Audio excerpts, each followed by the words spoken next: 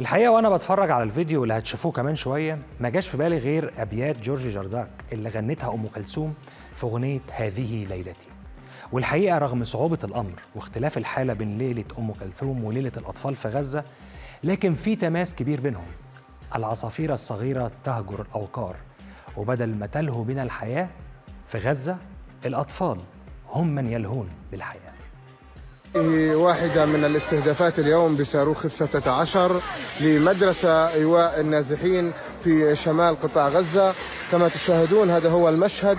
تتحول هذه الحفرة فورا من حفرة صاروخ أسقط على المدرسة إلى لوحة تزلج للأطفال داخل مدارس النازحين. هنا غزة وهنا شمال القطاع وهذه واحدة من الاستهدافات المستمرة. رغم الألم والوجع والحزن والمعاناة المستمرة بيردد سنفرح رغم الجراح. عدم وجود سيرك لم يمنع المهرج الفلسطيني علاء مقداد من تقديم عرض ترفيهي لأطفال نازحين خارج مستشفى الشفاء.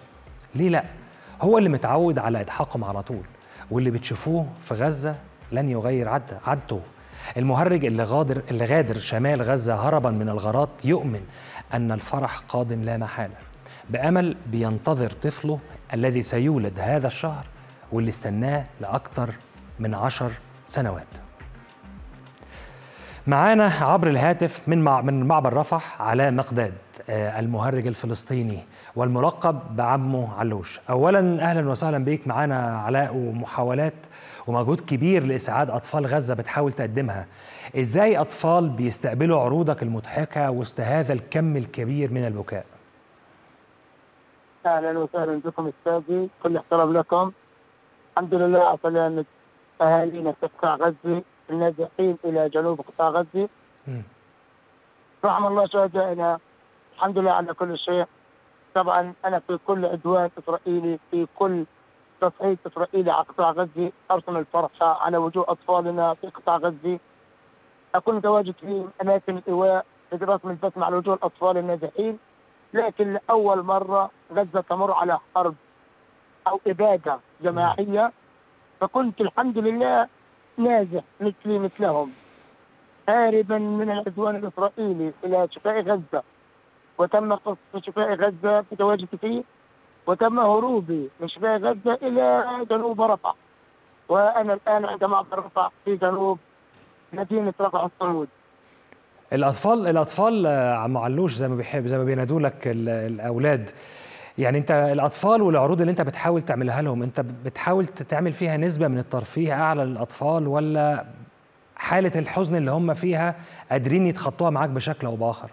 للأسف الشديد للأسف الشديد. يعني يعني ملابس المهرجين ملابس الترك بتدمير بيتي كله ذهب لكن جاءوا ولادهم من جديد سنفرح رغم الجراح سنفرح. إحنا الآن بنحكي إنه إحنا مهربين من أمام اليهود.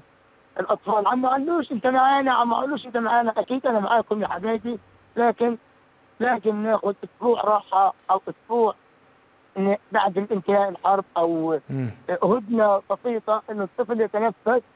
كي تستطيع تأهيله لابتسامته لرسم البسمه على وجهه تاهيله من جديد.